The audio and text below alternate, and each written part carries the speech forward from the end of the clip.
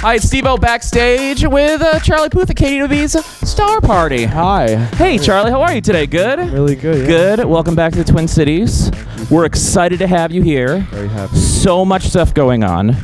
Uh, it's great because last time you were with us, uh, you, we talked about your perfect pitch. I feel like I really got to know you. Yes. And last time We you were here, deaf about that. we went. In, I learned from you that you can hear the Eiffel Tower. The noise is coming off the Eiffel Tower. Correct? Well, wind that hits the Weifel, Weifel Tower. Well, the Eiffel Tower, she's over there.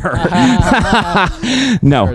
Yeah. Uh, anyway, bonjour. Anyway, so I was like, going that going back and forth. I was like, what am I going to talk to Charlie about? Because I feel like we really know each other. Yeah. So I figured I saw um, that you did Pilates with your mom the other day. I did. I'm real big into the Pilates yoga scene too. Yeah? Okay, and you were sore after it.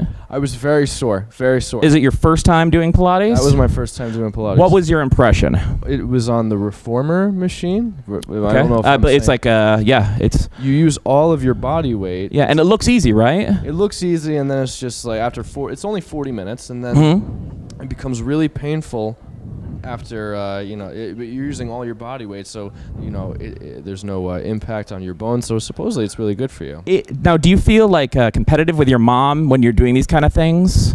i mean my mom kind of picked me out of the uh, my brother and sister are very athletic but Okay. i'm not and she Are you the grunt in the family? no i mean what's a grunt I don't know, like the one where they're like, "Oh, he's real good, but he's not really athletic. We can kind of just throw him to the side. Yeah, just let him go in and." kinda but i'm very very flexible so my mom handpicked me and said Oh. that this would be perfect for me Um, questions from a six and four year old. I have two kids. uh-huh And I said, I'm going to talk to Charlie Puth. And they kind of know who you are. They've seen your picture before. And they're like, yeah Is he the guy that sings One Call Away? And I'm like, Yeah, of course. yeah So my four year old Isaac said, Can you ask Charlie?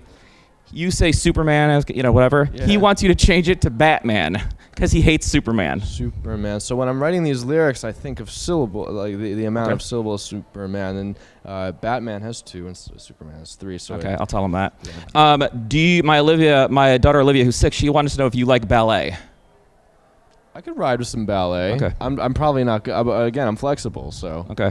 Um, Isaac, my four year old, says, Who would win in a fight, Spider Man or your dad? Mm, my dad's pretty hard. So Okay. Two more questions. Uh, Olivia wants to know what's your favorite food? um, pizza, very Okay. very very well done pizza. I like the crust very well Really? done. Okay. Probably best idea not to show the kids the interview, the the, uh, the little bit before that about Oh. all the Urban Dictionary Oh yeah, stuff. don't. Shh, we're fine. Uh, and then that. last last part. Uh, Isaac wanted to say uh, knock knock, who's there? eat mop. Eat my poo. Oh, you're so gross. Eat my poo. Ah, Ah, that's Charlie Puth. We're backstage Ah. at Star Party. Thank you so much. That's clever. Yeah. Eat my poo. Eat my pooth.